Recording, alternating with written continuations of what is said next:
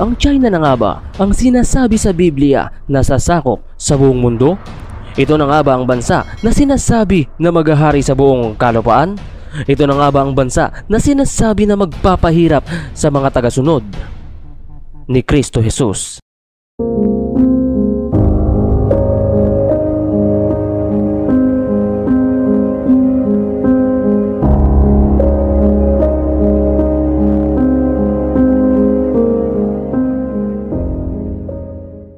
Kung ating pag-aaralan kung gaano kalawak ang mga lupain ng China kasama na ang mga karagatan ay mayroon itong 9.6 milyong kilometrong parisukat. Ito ay matatagpuan sa gitnang silangang Asya at ito ay isa sa mga pinakamataong bansa sa buong mundo. Sa populasyon nito na umaabot sa mahigit 1.38 billion at kung kalupaan naman ng pagbabasehan, ito ang ikalawa sa pinakamalawak na kalupaan sa buong mundo. Bagamat malawak na ang nasasakupan ng China ay tila hindi pa din ito makontento kung anong lawak ang meron sila. Kung ating isasama mga inaangkin ng China ay lalong mas lalawak pa ang kanilang nasasakupan. Tulad na lamang ng Taiwan, West Philippine Sea, Scarborough Shoal, Spratlys Islands, mga bahagi ng Vietnam, mga bahagi ng Indonesia, mga bahagi ng Brunei, mga bahagi ng Malaysia at mga bahagi ng North Korea.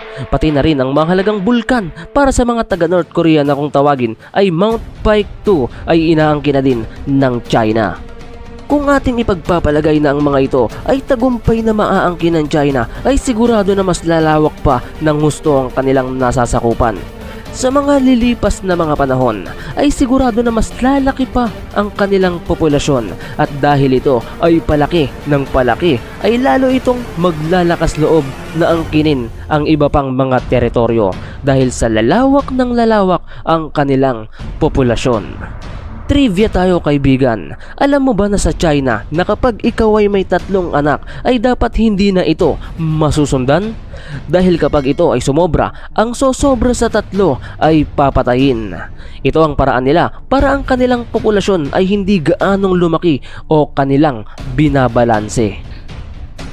Ngayon ay alam nyo na kung gaano kalawak ang China. Ang kanilang nga bang ginagawa ay naaayon sa Biblia?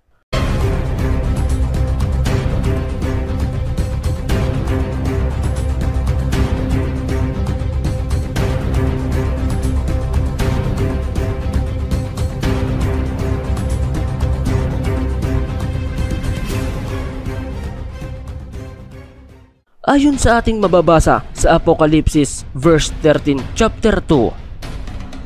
At ang hayop na aking nakita ay katulad ng isang leopardo at ang kanyang mga paa ay gaya ng sa oso at ang kanyang bibig ay gaya ng bibig ng leon at ibinigay sa kanya ng dragon ang kanyang kapangyarihan at ang kanyang luklukan at dakilang kapamahalaan.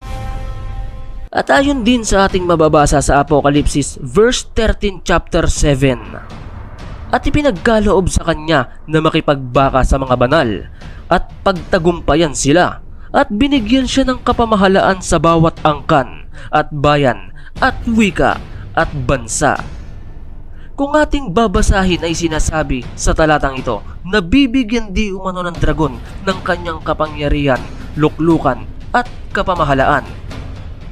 Sino naman itong dragon na magbibigay sa isang hayop na katulad ng leopardo ayon sa ating mababasa sa Apokalipsis verse 12 chapter 9. At inihagis ng malaking dragon ang matandang ahas, ang tinatawag na Diablo at Satanas, ang dumadaya sa buong sanglibutan. Siya'y inihagis sa lupa at ang kanyang mga anghel ay inihagis na kasama niya. Sa ating binasa kaibigan na ang tinutukoy na dragon ay walang iba kundi si Satanas. Bakit nga ba natin iisipin na ang China ang tinutukoy dito? Una, ang China ay hindi Christian country dahil ito ay Buddhist o mga Buddhismo. Sinasamba nila o kinikilala nilang Diyos na si Buddha. At ang mga ito ay hindi naniniwala kay Kristo Jesus.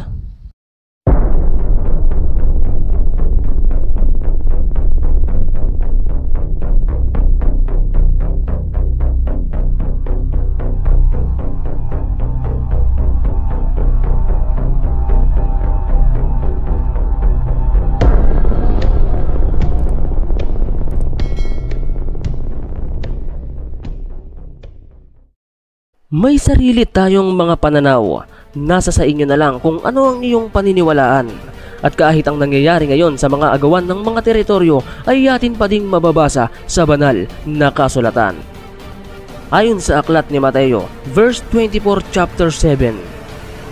Sapagkat magsisitindig ang bansa laban sa bansa at ang kaharian laban sa kaharian at magkakagutom at lilindol sa iba't ibang dako.